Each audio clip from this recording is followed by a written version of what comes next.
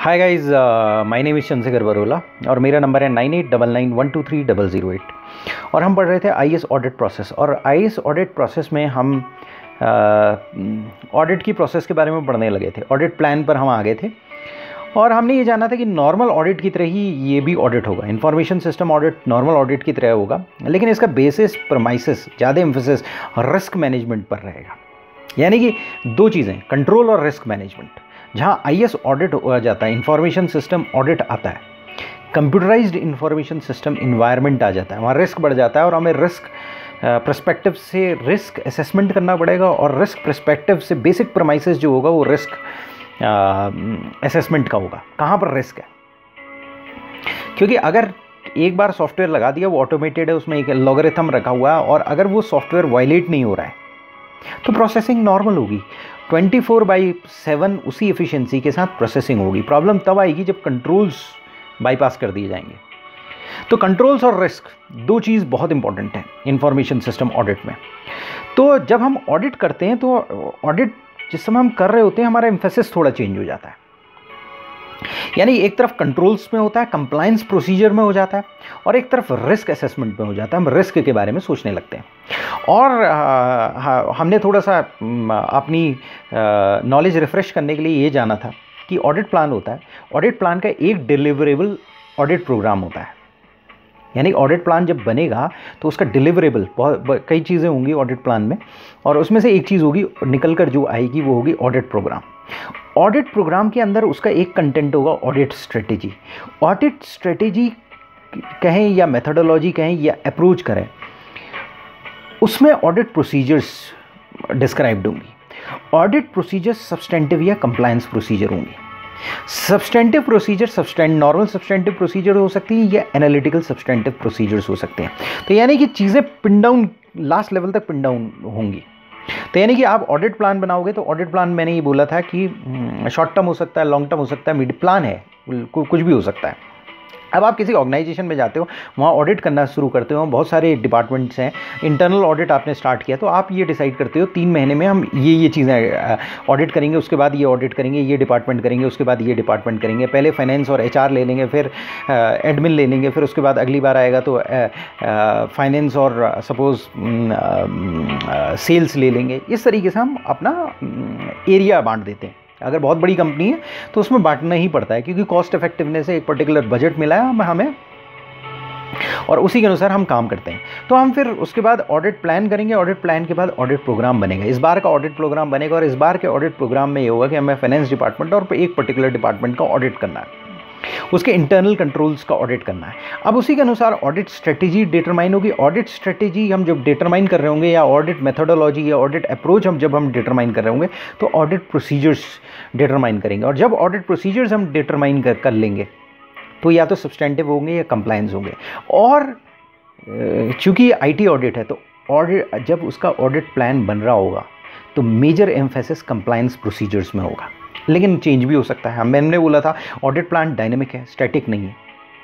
जहाँ आईटी आती है, हर चीज़ डायनेमिक हो जाती है। वैसे ऑडिट प्लान कभी स्टैटिक नहीं था। लेकिन आईटी आने की वजह से ऑडिट प्लान और डायनेमिक हो गया। तो कई जगह पर आप जाओगे कंप्लायंस प्रोसीजर्स अप्लाई करोगे कंट्रोल्स लगाओगे और देखोगे कंट्रोल्स वायलेशन हो रहे हैं। तो आप सब्सटेंटिव प्रोसीजर्स पर चले जाओगे। अगर आप स्ट्रॉन्ग कंट्रोल्स हैं तो सब्सटेंटिव प्रोसीजर बहुत कम अप्लाई करोगे। उसके बाद हमने ऑडिट प्लान पढ़ना चालू किया था और उसमें हमने ये जाना था कि ऑडिट प्लान में क्यों प्लानिंग क्यों इंपॉर्टेंट है? पहले पहले भी इंपॉर्टेंट थी, पहले भी ऑडिट प्लान बनता था, लेकिन अब मैसिवली इंपॉर्टेंट हो गई है। और उसका एक रीज़न ये है इनहेरेंट रिस्क बहुत बढ़ गया है। हमने ये जाना था तीन टाइप के रिस्क होते हैं इनहेरेंट कंट्रोल और डिटेक्शन रिस्क नेचर चेंज हो गया है। इनहेरेंट रिस्क के बारे में हमने थोड़ा सा जानकारी प्राप्त की थी, हमने ये जाना था कि कुछ रिस्क होते हैं कंट्रोल्स लगाने से पहले। कंट्रोल्स लगाने से पहले उन रिस्क को देखा जाता है और ये देखा जाता है कि क्या ये रिस्क रिस्क बढ़ा रहे हैं कि नहीं बढ़ा रहे हैं? क्या क्या ये चीज़ें रिस्क बढ़ा रही हैं कि नहीं बढ़ा रही हैं? और उन्हें इनहेरेंट रिस्क ले लिया जाता है, कह दिया जाता है। जैसे फॉर एग्जांपल एक गाड़ी 20 की स्पीड में चली है और एक 120 की स्पीड में चल रही है। इनहेरेंट रिस्क 120 में ज़्यादा बढ़ जा गया। अब आप कहोगे उसमें हमने कंट्रोल्स लगा दिए शूमाकर को बैठा दिया, गाड़ी बहुत बढ़िया है वो मायने नहीं रखता। इनहेरेंट रिस्क में वो मायने नहीं रखता। इनहेरेंट रिस्क जो है कंट्रोल्स लगाने से पहले की बात है। जैसे फॉर एग्जांपल एक डेटा सेंटर है, उसमें लकड़ी का काम बहुत ज़्यादा है। इनहेरेंट रिस्क बहुत ज़्यादा है। सीमेंट का काम है, बिल्डिंग सीमेंट की बनी है, रिस्क कम है। अगर स्टील का कोई एक गोडाउन वगैरह लगा है, उसमें आग लगने के चांसेस बिल्कुल कम है। वहाँ इनहेरेंट रिस्क बहुत कम है। अगर एक ऑर्गेनाइजेशन है, उसमें दो कंप्यूटर्स हैं, कोई इंटरनेट का कनेक्शन ही नहीं हो, इनहेरेंट रिस्क वहाँ कम है। लेकिन जैसे ही आप इंटरनेट का कनेक्शन रखते हो, इनहेरेंट रिस्क बढ़ जाता है।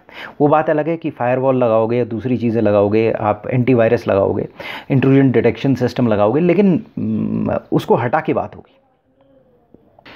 तो बेसिकली प्लानिंग की ज़रूरत क्यों पड़ी? बहुत ज़्यादा ज़रूरत क्यों पड़ी? अब इम्फेसिस प्लानिंग में बहुत ज़्यादा कई बार क्या होता था पहले क्या होता था कुछ ऑडिट फर्म्स हैं विदाउट ऑडिट प्लान के साथ ऑडिट करने चली जाती। छोटी छोटी फर्म ऐसा किया करती थी।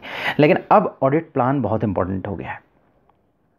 क्यों इंपॉर्टेंट हो गया? उसका रीज़न ये है कि आई ऑडिट में इनहेरेंट रिस्क बढ़ गया है। और अच्छा प्लान होना बहुत ज़रूरी है। क्रिटिकल सक्सेस फैक्टर जो है अच्छा audit plan critical success factor में आता है। आईटी ऑडिट में।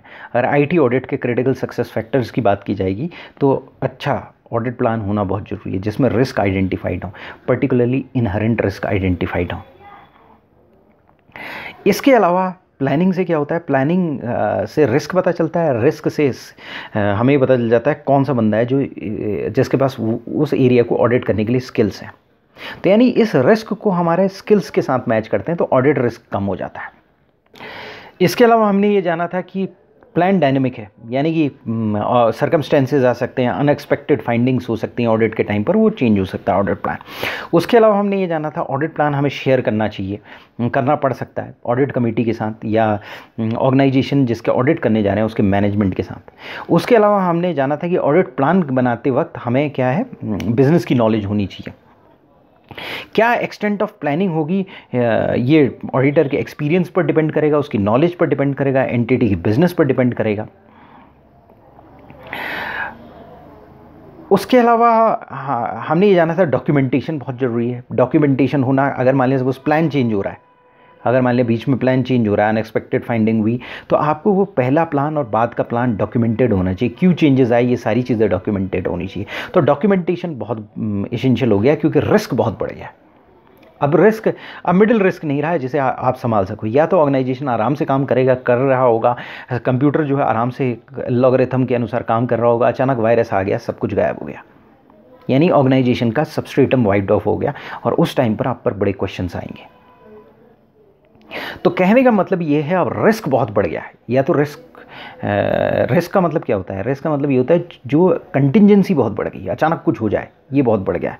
और उस अचानक कुछ हो जाए का इम्पैक्ट बहुत बढ़ गया है। रिस्क में दो चीज़ें होती हैं, अचानक कुछ हो जाए और अचानक कुछ हो जाए का इम्पैक्ट बहुत बढ़ गया है। पहले आपका यही मैनुअल आदमी काम किया करता था। आदमी काम करता था तो कभी कभी वो फ्रॉड उस लेवल से ज़्यादा ही नहीं करता था। कि जिस लेवल से ज़्यादा पकड़ा जाए, उसकी सबसे पहली प्रायोरिटी ये होती थी कि फ्रॉड को किसी तरह से छुपा दिया जाए। तो जगह जगह ऑर्गेनाइजेशन, बहुत बड़ा ऑर्गेनाइजेशन है, कई उसकी ब्रांचेस हैं तो जगह जगह फ्रॉड्स हो रहे होते थे छोटे छोटे फ्रॉड्स हो रहे होते थे। और वो नाइन्टी परसेंट फ्रॉड्स पकड़े ही नहीं जाते थे, क्योंकि उसको पता है, एक चपरासी है, वो जाएगा और कुछ पैसे ऊपर नीचे कर देगा। तो पता ही नहीं है कि ये फ्रॉड ये फ्रॉड कर रहा है। जगह जगह छोटे छोटे छोटे छोटे फ्रॉड हुआ करते थे। और जो एम्प्लॉई वो तैयार रहता था, जो फ्रॉड कर रहा होता था एम्प्लॉई मालूम पड़ा ऑर्गेनाइजेशन में जो फ्रॉड कर रहा है, वो तैयार रहता था उसको छिपाने की कोशिश करने के लिए कॉन्स्टेंटली उसे पता रहता था, ये चीज़ पकड़ी तो नहीं जाएगी। लेकिन आईटी के साथ डिफरेंट हो गया। इसके साथ या तो नहीं होता है होता है तो ड्रास्टिक चीज़ें हो जाती हैं। और ड्रास्टिक चीज़ें होती हैं तो उसे ठीक करने का एक वो किसी भी लिमिट तक जा सकती हैं। हो सकता है बैंक है, सही तरीके से डेटा नहीं रखा है, पूरा centralise data base wipe off हो जाएगा। उस समय ऑडिटर पर क्वेश्चन भयंकर क्वेश्चन आ सकते हैं। तो रिस्क देखना बहुत इंपॉर्टेंट हो गया है। छोटे छोटे फ्रॉड्स देखना कम इंपॉर्टेंट हो गया क्योंकि चीज़ें ऑटोमेटेड हो रही हैं छोटे छोटे फ्रॉड्स नहीं होंगे। होगा तो कहीं से वायरस आ गया, कोई एल किसी ने लॉगरिथम में प्रॉब्लम आ गई, जब मतलब प्रोसेसिंग हो रही तो सारे डेटा की प्रोसेसिंग गड़बड़ होनी शुरू हो जाएगी। तो यानी कि आप ऑडिट को प्लान प्लान करोगे नॉर्मल तरीके से प्लान करोगे और उस, आप क्या करते हो, जब प्लानिंग करते हो तो प्रीलिमिनरी रिव्यू लेते हो। प्रीलिमिनरी रिव्यू लेना बहुत इंपॉर्टेंट है क्योंकि उसी के बेसिस पर प्लानिंग की जाएगी। आई ऑडिट में आप रिस्क देखोगे, उसी के अनुसार आपका एफर्ट लगेगा। कंट्रोल स्ट्रांग है, कम है सब्सटेंटिव प्रोसीजर्स भी कम लगाने हैं, फटाफट ऑडिट हो जाएगा। कंट्रोल्स लैक्स लैक्स हैं। तो आपको मैसिव सब्सटेंटिव प्रोसीजर्स लगाने पड़ेंगे। तो आपको ये देखना पड़ेगा कि डिग्री ऑफ़ ऑडिट रिस्क देखना पड़ेगा। और वही ऑडिट एफर्ट की इफेक्टिवनेस और एफिशिएंसी डिटरमाइन करेगा। जो क्रिटिकल फैक्टर्स हैं वही है कि रिस्क आपको देखना है कंट्रोल इन्वायरमेंट देखना है। मतलब कंट्रोल इन्वायरमेंट देखा तो आपको पता चल गया ये रिस्क है। कंट्रोल आपने इन्वायरमेंट देखा इन्वायरमेंट देखकर बिज़नेस देखा, आपने उसकी टेक्नोलॉजी देखी उसके बाद उसके बाद आपको ये पता चल गया इस लेवल का रिस्क है और जिस लेवल का रिस्क है उसी के अनुसार आपने एफर्ट लगाना है और उसी के अनुसार आपने प्लान बनाना है। और फिर ऑडिट प्लानिंग करोगे, फिर audit methodology sorry audit programme उसी के अनुसार बनाओगे। ऑडिट प्रोग्राम बनाओगे तो आप उसी के अनुसार ऑडिट मेथोडोलॉजी या ऑडिट स्ट्रेटेजी यूज़ करोगे। ऑडिट स्ट्रेटेजी आप यूज़ करोगे तो उसी के अनुसार ऑडिट प्रोसीजर्स यूज़ करोगे, जो कि सब्सटेंटिव या कंप्लाइंस प्रोसीजर्स हो सकते हैं। तो अब आप प्रीलिमिनरी रिव्यू करने के लिए जा रहे हो। प्रीलिमिनरी रिव्यू एक इनडेप्थ ओवरव्यू देखोगे आप ऑर्गेनाइजेशन का अकाउंटिंग सिस्टम का। आप ये देखोगे कि कौन किस टाइप के कंट्रोल्स हैं। और जो क्रिटिकल फैक्टर्स हैं प्रीलिमिनरी रिव्यू में। पहला है बिज़नेस की नॉलेज होना बिज़नेस की नॉलेज में आपको इंडस्ट्री की नॉलेज होना बहुत ज़रूरी है। बिज़नेस की नॉलेज होना बहुत ज़रूरी है उस पर्टिकुलर बिज़नेस की। उसके अलावा बिज़नेस का एक्सपोजर क्या एक्सपोजर मतलब जहाँ पर से रिस्क आ रहा है। मालूम पड़ा है, एक कंपनी है, वो आपका कम्प्लीटली ऑनलाइन है कम्प्लीटली इंटरनेट पर है, भले ही लीस लाइन ली है, उसका एक्सपोजर ज़्यादा होगा। अगर एक कंपनी वो ट्रांसपेरेंसी इंटरनेशनल है, वो ट्रांसपेरेंसी में बिलीव करती है, उसका रिस्क एक्सपोजर कम होगा। एक ड्रग बनाने वाली कंपनी है, वो दवाइयाँ बना रही है, उसका, उस दवाइयों को रिसर्च कर रही है। तो वहाँ पर जो रिसर्च है, वो कॉन्फिडेंशियल रिसर्च है, उसका एक्सपोजर ज़्यादा हो सकता है। पर्टिकुलरली अगर वो नेट वगैरह में है तो तो आप ये देखोगे कि आप बिज़नेस की नॉलेज लोगे उसके बाद ये देखोगे रिस्क एरियाज़ कौन से हैं उसके बाद ये देखोगे आ, कहीं ऐसा तो नहीं कि आपने आउटसोर्सिंग तो नहीं कर रखी है। अगर चीज़ें आउटसोर्स्ड हैं उसके बाद टॉप लेवल मैनेजमेंट को देखोगे आईटी मैनेजमेंट को देखोगे वो कॉम्पिटेंट है कि नहीं है? आईटी मैनेजमेंट को देखोगे कॉम्पिटेंट है कि नहीं है? टॉप मैनेजमेंट को भी देखोगे कॉम्पिटेंट है कि नहीं है? क्योंकि कई बार क्या होगा टॉप मैनेजमेंट कॉम्पिटेंट नहीं होगा आईटी मैनेजमेंट कॉम्पिटेंट होगा, लेकिन, वो जो चीज़ परचेज़ कर रहा होगा, सब स्टैंडर्ड परचेज़ कर रहा होगा। आईटी डिपार्टमेंट भी, कुछ भी टॉप मैनेजमेंट को कुछ भी कहानियाँ सुनाकर कुछ काम कर रहा होगा। तो आईटी मैनेजमेंट भी नॉलेजेबल होना चाहिए, उसकी कॉम्पिटेंस भी हाई होनी चाहिए टॉप मैनेजमेंट भी कॉम्पिटेंस होना चाहिए। उसके बाद ऑर्गेनाइजेशन का स्ट्रक्चर और सेटअप आप देखोगे।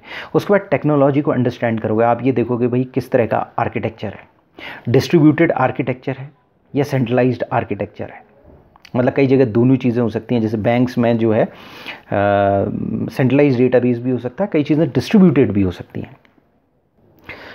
तो टेक्नोलॉजी आर्किटेक्चर आप समझोगे? पहले तो आपने बिज़नेस समझा, फिर उसके बाद आपने टेक्नोलॉजी समझी, उसमें टेक्नोलॉजी आर्किटेक्चर समझा। टेक्नोलॉजी आर्किटेक्चर समझने से पहले आप ये देखोगे आईटी का रोल कितना है। किसी कंपनी में आईटी बहुत कम है, एक दो कंप्यूटर्स पड़े हुए हैं। और किसी कंपनी में ऑर्गेनाइजेशन वाइड ई है। ऑर्गेनाइजेशन वाइड चीज़ें काम हो रही हैं डॉक्यू मेल में ही चीज़ें रखी जा रही हैं। तो आप ये देखोगे आईटी में डिपेंडेंस क्या है? लेवल ऑफ़ ऑटोमेशन क्या है? बिज़नेस प्रोसेसेस को देखोगे? लेवल ऑफ़ ऑटोमेशन देखोगे। कौन कौन से एप्लीकेशन वहाँ पर काम कर रहे हैं? नेटवर्क डायग्राम देखोगे फ़िज़िकल और नेटवर्क लॉजिकल कंट्रोल्स देखोगे फ़िज़िकल और लॉजिकल नेटवर्क की कनेक्टिविटी देखोगे। लॉजिकल कनेक्टिविटी और फ़िज़िकल कनेक्टिविटी दोनों अलग हैं। फिजिकली वायर कैसे जा रहा है? या लॉजिकली किस तरीके से बना हुआ है वो? ये आप देखोगे। उसके बाद क्या है कि कई बार क्या होता है कि एक्सटेंडेड एंटरप्राइज आर्किटेक्चर होता है। एक्सटेंडेड एंटरप्राइज आर्किटेक्चर का मतलब ये होता है, जैसे मारुति है। मारुति के साथ वेंडर के साथ भी उनका कम्युनिकेशन चल रहा होता है। मारुति है मिंडा कॉरपोरेशन है। मारुति के पास अगर आपके कोई पार्ट्स कम हुआ ऑटोमेटिकली एक रीऑर्डर लेवल तक आया ऑटोमेटिकली ऑर्डर चले जाएगा। तो वहाँ पर वेंडर वेंडर मैनेजमेंट मॉड्यूल्स होते हैं। कस्टमर मैनेजमेंट मॉड्यूल्स होते हैं। एम्प्लॉय मैनेजमेंट मॉड्यूल्स होते हैं। और आज की डेट में गवर्नमेंट भी ऑटोमेटेड होती जा रही है। तो एक्सटेंडेड एंटरप्राइज आर्किटेक्चर हैं कि नहीं है? एक्सटेंडेड एंटरप्राइज आर्किटेक्चर हैं तो इसका मतलब ऑर्गेनाइजेशन में एफिशिएंसी बढ़ रही है। लेकिन साथ ही साथ रिस्क भी बढ़ रहा है।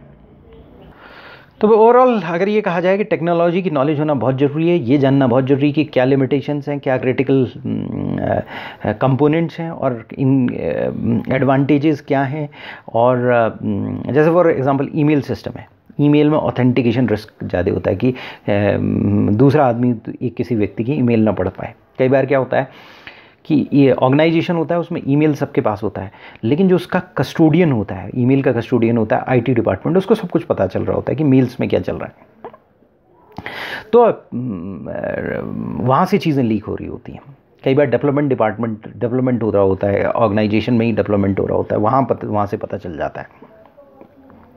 तो कहने का मतलब ये है कि टेक्नोलॉजी को समझना बहुत ज़रूरी है बिज़नेस को समझना बहुत ज़रूरी है इंटरनल कंट्रोल को समझना बहुत ज़रूरी है।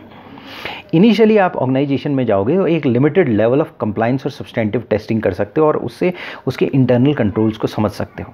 लीगल कंसिडरेशंस बहुत ज़रूरी हैं ऑडिटिंग स्टैंडर्ड्स बहुत ज़रूरी हैं। आप वहाँ जाओगे तो आपको ये जानना बहुत ज़रूरी है कि कौन कौन से लॉज इस इंडस्ट्री में काम करते हैं। जैसे बैंक में बैंक की अकाउंटिंग बिल्कुल अलग होती है। बैंक में अलग टाइप के लॉस होते हैं, अलग टाइप के रेगुलेटरी फ्रेमवर्क्स होते हैं, जो आपको जो बैंक को फॉलो करने पड़ते हैं। तो लीगल इम्प्लीकेशन देखोगे ऑडिट वर्क में लीगल इम्प्लीकेशंस क्या आ रहे हैं। और उसके अलावा जैसे मैंडेटरी स्टैंडर्ड्स हैं अकाउंटिंग स्टैंडर्ड्स हैं ऑडिटिंग एश्योरेंस स्टैंडर्ड्स हैं, वो तो आपको फॉलो करने वो आपके इंस्टीट्यूट ने आपको दिए हुए हैं। तो कहने का मतलब ये है प्लानिंग के फ़ेज़ में आप प्रिलिमिनरी रिव्यू करोगे प्लान का बना रहे हो ना? प्रीलिमिनरी रिव्यू स्टार्टिंग का रिव्यू करोगे, उसमें बिज़नेस की नॉलेज लोगे, उसमें टेक्नोलॉजी को अंडरस्टैंड करोगे, ये देखोगे क्या आर्किटेक्चर है सेंट्रलाइज्ड है डेटाबेस सेंट्रलाइज्ड है या डिस्ट्रीब्यूटेड है या हाइब्रिड आर्किटेक्चर है। उसके बाद आप ये देखोगे लीगल कंसिडरेशन क्या है रिस्क असेसमेंट और मटीरियलिटी देखोगे कहाँ कहाँ रिस्क हो सकते हैं। और उसी के अनुसार क्या मटेरियल प्रॉब्लम आ सकती है? जैसे फॉर एग्जांपल एक बैंक का सेंट्रलाइज डेटाबेस है वहाँ पर आ, वो बहुत ही मटेरियल एरिया है क्योंकि वहाँ पर रिस्क बहुत ज़्यादा है। अगर वहाँ पर कुछ गड़बड़ी हुई तो बैंक पूरा का पूरा ख़त्म हो सकता है। तो जैसे कि बोला रिस्क असेसमेंट में क्या होगा? आप रिस्क को एसेस करोगे उसी के अनुसार एक्सेप्टेबल रिस्क क्या है वो देखोगे क्योंकि मैनेजमेंट एक acceptable level of risk determine करेगा। रिस्क उससे नीचे नहीं हो सकता। मतलब उससे नीचे वो रिस्क ज़ीरो नहीं हो सकता। ऑडिटर क्या देता है? वो रीजनेबल एश्योरेंस देता है हंड्रेड परसेंट एश्योरेंस नहीं देता है। उसी की तरह से ऑडिट रिस्क ज़ीरो नहीं हो सकता। ऑर्गेनाइजेशन का इनहेरेंट रिस्क ज़ीरो नहीं हो सकता। आप सॉरी इन ऑर्गेनाइजेशन का रिस्क इनहेरेंट रिस्क तो ज़ीरो हो नहीं सकता। ऑर्गेनाइजेशन का ओवरऑल रिस्क ज़ीरो नहीं हो सकता। वो ज़ीरो नहीं किया जा सकता। कितने भी कंट्रोल्स लगा लो आप। एक एक्सेप्टेबल लेवल ऑफ़ रिस्क हमें मैनेजमेंट को डिटरमाइन करना पड़ेगा। तो मैनेजमेंट ने वो एक्सेप्टेबल लेवल ऑफ़ रिस्क क्या डिटरमाइन किया? उसी की तरह उसी से क्या है ऑडिटर ऑडिट करेगा। वो मतलब ऑडिट प्रोसीजर्स डिटरमाइन करेगा, उसके नीचर एक्सटेंट ऑफ़ टाइमिंग देखेगा। ऑडिट यानी कि नीचर एक्सटेंट ऑफ़ टाइमिंग क्या है? ऑडिट प्रोसीजर्स क्या है सब्सटेंटिव या कंप्लाइंस सब्सटेंटिव प्रोसीजर्स हैं तो वो कहेगा कितनी एक्सटेंट ऑफ़ चेकिंग होनी चाहिए, ये डिटरमाइन करेगा। तो कहने का मतलब ये रिस्क असेसमेंट बहुत इंपॉर्टेंट चीज़ है। रिस्क असेसमेंट के टाइम पर वो देखेगा मैनेजमेंट ने एक्सेप्टेबल लेवल ऑफ़ रिस्क क्या बता रखा है? और acceptable level of risk determine करने की रिस्पॉन्सिबिलिटी मैनेजमेंट की है। फिर से बोल रहा हूँ acceptable level of risk determine करने की रिस्पॉन्सिबिलिटी मैनेजमेंट की हर एरिया में। हाँ जैसे फॉर एग्जांपल एक ऑर्गेनाइजेशन है, उसमें पचास सर्वर हैं। उसमें कोई सर्वर ज़्यादा इंपॉर्टेंट है कोई सर्वर लेसर इंपॉर्टेंट है। अब वहाँ पर एक्सेप्टेबल लेवल ऑफ़ रिस्क क्या होगा? ये मैनेजमेंट डिटरमाइन करेगा हर सर्वर लेवल पर हर सर्विस लेवल पर। तो इसको समराइज़ करते हैं फिर से।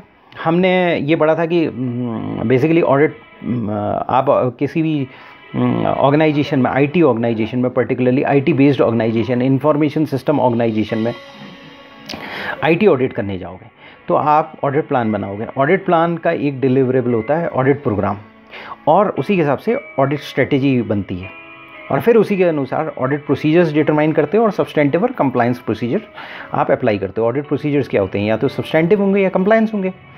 अब ऑडिट स्ट्रेटेजी भी हमने पढ़ी थी, कई टाइप की ऑडिट स्ट्रेटेजी होती है। सिस्टम बेस्ड अप्रोच होती है या ऑडिट स्ट्रेटेजी बोलें, ऑडिट मैथडोलॉजी बोलें, ऑडिट अप्रोच बोलें। मतलब ऑडिट स्ट्रेटेजी कह सकते हो ऑडिट मैथडोलॉजी कह सकते हो या अप्रोच कह सकते हो। ऑडिट प्रोग्राम बनाओगे तो उसके अंदर ऑडिट स्ट्रेटेजी होगी या मैथडोलॉजी होगी या अप्रोच होगी। तो उसमें कई टाइप सिस्टम बेस्ड अप्रोच हो सकती है ट्रांजेक्शन साइकिल अप्रोच हो सकती है, जिसमें ट्रांजेक्शन साइकिल को आप चेक कर रहे होते हो। सब्सटेंटिव अप्रोच हो सकती है, आप जा सकते हो, कह सकते हो, भैया वाउचर निकालो, हम, उसको ऑडिट करना स्टार्ट करेंगे। डायरेक्शनल टेस्टिंग हो सकती है या रिस्क बेस्ड अप्रोच हो सकती है। अब अगर मान लिया सपोज़ आप प्लानिंग कर रहे हो आईटी ऑडिट की तो रिस्क बेस्ड अप्रोच वहाँ पर ज़्यादा ही चलती है। क्योंकि वहाँ रिस्क को देखना पड़ता है आपको। वहाँ पर कंट्रोल्स की टेस्टिंग करनी पड़ती है। मैं फिर से रिपीट कर रहा हूँ ऑडिट प्लान बनाते हो। ऑडिट प्लान का एक डिलीवरेबल होता है audit programme audit plan medium term short term long term हो सकता है। आपने ऑडिट प्लान बना लिया। उस, उसके बाद ऑडिट प्रोग्राम बनाओगे, उसका एक डिलीवरेबल ऑडिट प्रोग्राम होगा। ऑडिट प्लानिंग में हमने ये जाना था कि प्रीलिमिनरी रिव्यू करोगे, अगर ज़रूरत पड़ी तो एक सब्सटेंटिव टेस्टिंग करोगे लिमिटेड लेवल की, और फिर उसके बाद ऑडिट प्रोग्राम बनाओगे। उसके बाद ऑडिट प्रोग्राम के अंदर ऑडिट स्ट्रेटेजी होगी। ऑडिट स्ट्रेटेजी या ऑडिट मेथडोलॉजी या ऑडिट अप्रोच होगी। और उनमें से एक अप्रोच है risk based approach risk based approach IT audit में बहुत ज़्यादा यूज़ की जाती है। अब आप रिस्क बेस्ड अप्रोच कर रहे हो तो ऑडिट ऑडिट स्ट्रेटेजी के अंदर ऑडिट प्रोसीजर्स होते हैं और उसमें compliance procedure risk based approach में ज़्यादा यूज़ की जाती है। कंप्लायंस प्रोसीजर का मतलब यह कंट्रोल्स की टेस्टिंग ज़्यादा की जाती है। लेकिन सब्सटेंटिव टेस्टिंग भी की ज़रूरत पड़ सकती है। अगर कंट्रोल सफिशिएंट नहीं है तो सब्सटेंटिव टेस्टिंग चालू करोगे। कंट्रोल सही है तो कोई बात नहीं। हमने पहले भी पढ़ा था कि अगर आर्टिफिशियली इंटेलिजेंट सिस्टम हो जाए एआई आ जाए तो आपको केवल कंट्रोल्स देखने की ज़रूरत है। सब्सटेंटिव तो चेक करने की ज़रूरत ही नहीं है। जितना सिस्टम ऑटोमेटेड हो जाएगा, उतना कंट्रोल टेस्टिंग की ज़रूरत पड़ती है। क्योंकि वहाँ पर रिस्क को डिटरमाइन करते हो आप। रिस्क असेसमेंट करते हो। बेसिक प्रमाइसेस है रिस्क असेसमेंट तो अब आप रिस्क बेस्ड अप्रोच स्टार्ट करते हो। तो आ, आ, जो हमारा रिस्क मैनेजमेंट का चैप्टर है उसमें डिटेल में ये समझाया हुआ है। लेकिन उसको हम समराइज़ कर लेते हैं। Risk based approach is the best approach in I S C I S computerise information system audit process I S audit क्या होता है? इंफॉर्मेशन सिस्टम का ऑडिट वो कंप्यूटराइज हो सकता है नॉन कंप्यूटराइज हो सकता है। लेकिन C I S computerise information system audit process वो कंप्यूटराइज होगी। वहाँ पर रिस्क बेस्ड अप्रोच यूज़ कर रहे हो गया अपने ऑडिट प्लान में आप जो अप्रोच या स्ट्रेटेजी कर रहे होगे, वो रिस्क बेस्ड अप्रोच कर रहे होगे। तो रिस्क बेस्ड अप्रोच में सबसे पहले तो इन्वेंट्री क्रिएट करोगे इन्फॉर्मेशन सिस्टम की। उनको कैटेगराइज करोगे। इसके बारे में हम डिटेल में पढ़ेंगे रिस्क मैनेजमेंट के चैप्टर में। तो आपने इन्वेंट्री बना दी, ये ये ये सारे हमारे एसेट्स हैं।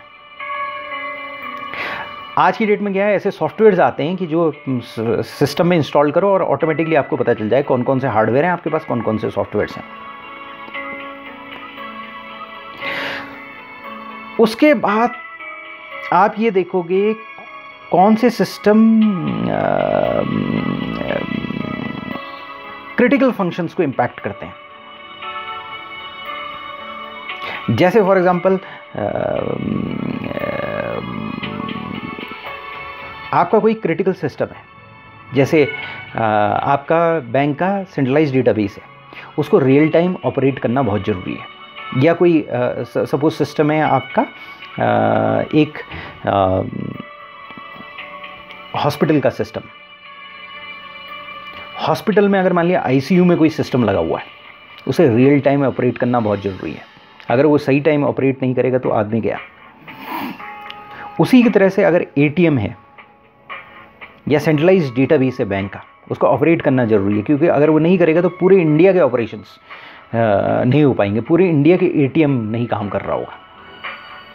तो आप देखोगे, कोई एक पर्टिकुलर सिस्टम है। पहले तो आपने इन्वेंट्री क्रिएट कर दी सिस्टम्स की। आपने कहा कि एसेट्स की आईटी एसेट्स की इन्वेंट्री क्रिएट कर दी। आपने कहा ये आईटी के ये आईटी के एसेट्स हैं। उसके बाद क्या है कि आप ये देखोगे, उन आईटी एसेट्स में कौन से क्रिटिकल हैं। अगर वो रुक जाएँ, पैसे की हानि तो नहीं होगी। कस्टमर की हानि तो नहीं होगी, कई बार डिसीज़न मेकिंग की हानि तो नहीं होगी। कई बार क्या होता है सीनियर मैनेजमेंट बैठा का बैठा रह जाता है, उसको डिसीज़न लेने, वो डिसीज़न ले नहीं पा रहा है, क्यों नहीं ले पा रहा है? क्योंकि इन्फॉर्मेशन उसके पास नहीं आई है। रियल टाइम ऑपरेट कर रहे हैं कि नहीं कर रहे हैं? तो बेसिकली आपको ये चीज़ देखकर एक रिस्क प्रोफ़ाइल बनाना पड़ेगा और फिर ये देखना पड़ेगा, भैया सबसे क्रिटिकल कौन सा है? सबसे ज़्यादा रिस्क प्रोन कौन सा है? सबसे ज़्यादा इम्पैक्ट कौन सा सिस्टम देगा?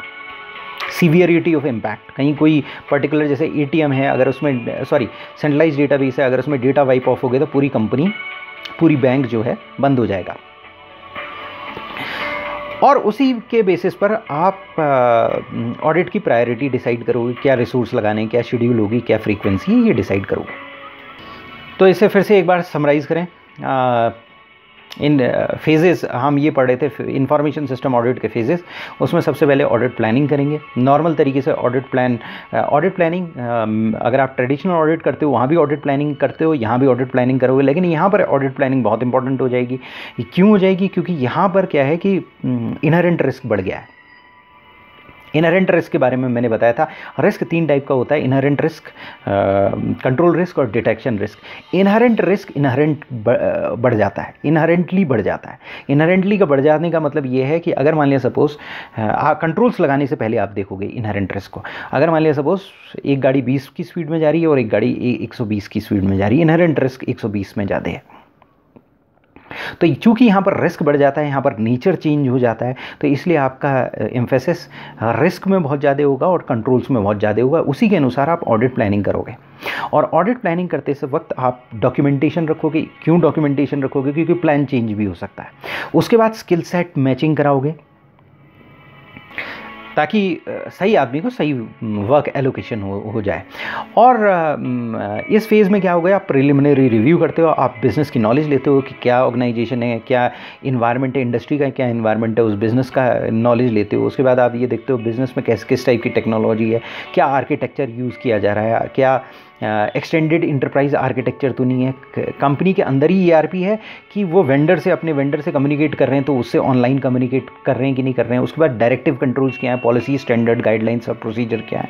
उसके बाद इंटरनल कंट्रोल सिस्टम को आप अंडरस्टैंड करते हो और उसके लिए अगर लिमिटेड कंप्लाइंस और सब्सटेंटिव टेस्टिंग करनी पड़ती है, वो करते हो। आप ऑर्गेनाइजेशन में जाते हो क्वेश्चन पूछते हो या सब्सटेंटिव कंट्रोल टेस्टिंग करते हो, एक आइडिया लेते हो हायर की पता करते हो और उसी के बेसिस पर प्रिलिमिनरी रिव्यू करते हो। आपको पता चल जाता है हायर की आप देखोगे ऑर्गेनाइजेशन के बारे में आपको नॉलेज हो जाएगी और बेसिक क्वेश्चनिंग करोगे तो आपको ऑर्गेनाइजेशन के बारे में पता चल जाएगा। उसके बाद लीगल कंसिडरेशन देखते हो, कौन से लॉज यहाँ पर अप्लाई हो रहे हैं वो देखते हो। उनके बारे में आपको नॉलेज होनी ग्रेस्प होनी बहुत ज़रूरी है। उसी के अनुसार ऑडिट प्लानिंग करोगे क्योंकि आप। उसके बाद रिस्क असेसमेंट और मटीरियलिटी असेसमेंट करते हो। आप ये देखते हो कि कहाँ रिस्क है? क्योंकि I audit basically risk audit है। वैसे हर ऑडिट रिस्क ऑडिट है। लेकिन आई ऑडिट रिस्क ऑडिट की तरफ़ के बिल्कुल करीब है। वहाँ पर आप कंट्रोल टेस्टिंग कर रहे होते हो।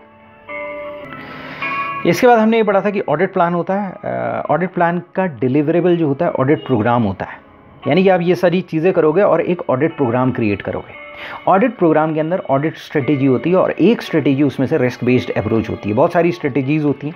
उसमें से एक स्ट्रेटेजी रिस्क बेस्ड अप्रोच होती है, जहाँ आई सिस्टम्स हैं, जहाँ आई सिस्टम्स ज़्यादा हैं, जहाँ पर सी आई एस इन्वायरमेंट ज़्यादा है। कंप्यूटराइज इंफॉर्मेशन सिस्टम इन्वायरमेंट ज़्यादा है वहाँ रिस्क बेस्ड अप्रोच अपनाओगे।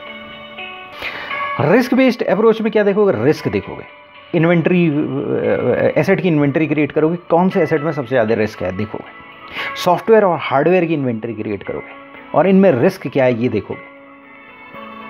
और रिस्क किस टर्म्स में देखोगे? रिस्क मनी के टर्म्स में देखोगे मटेरियल के टर्म्स में देख सकते हो कस्टमर के टर्म्स में देख सकते हो डिसीज़न मेकिंग के टर्म्स में देख सकते हो रियल टाइम ऑपरेशन के टर्म्स में देख सकते हो। ये देख सकते हो कि अगर रियल टाइम ऑपरेशन नहीं हुआ तो कहीं तो इम्पैक्ट किस किस सिस्टम कहाँ, क्या लॉस होगा? अगर अगर ये सिस्टम काम नहीं कर रहा है ठीक तरीके से तो कस्टमर की प्रॉब्लम क्या होगी? मटेरियल में क्या प्रॉब्लम आएगी? मनी में क्या प्रॉब्लम आई डिसीज़न मेकिंग में क्या प्रॉब्लम आई यानी कि टॉप मैनेजमेंट बैठा है सिस्टम काम नहीं कर रहा, उसके बाद इंफॉर्मेशन नहीं आ रही, वो डिसीज़न नहीं ले पा रहा है। अब जैसे फॉर एग्जांपल एक प्लेन है। प्लेन में जो उसके ऊपर पायलट बैठा है, उसको कंप्यूटराइज प्लेन हो गए। अगर पायलट बैठा है और वो डिसीज़न नहीं ले पा रहा है, कुछ स्प्लिट सेकंड पायलट डिसीज़न नहीं ले पाया प्लेन गया।